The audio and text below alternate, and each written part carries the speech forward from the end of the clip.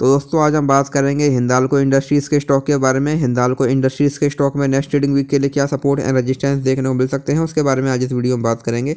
हम अगर यहाँ पे स्टॉक की बात करें तो हम देखेंगे जो ये स्टॉक है, ये हमको पिछले एक लंबे समय से यहाँ पर लगातार क्लियर अप ट्रेंड में देखने को मिल रहा है। हमको यहाँ पर स्टॉक में हाइयर हाई हाइयर लो वाला पैटर्न यहाँ पर देखने को मिल रहा है। अभी रिसेंटली हमको यहाँ पर स्टॉक में गिरावट भी देखने को मिली थी, लेकिन गिरावट के बाद भी स्टॉक ने अपने प्रीवियस लो को ब्रेक नहीं किया और अगेन हमको यहाँ पर स्टॉक में तेज़ी देखने को मिली।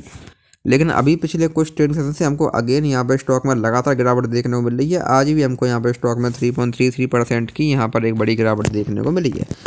तो यहाँ से अभी हम स्टॉक में बात करें, यहाँ से अगर अभी स्टॉक में और गिरावट आती है तो यहाँ से भी और गिरावट की कंडीशन में।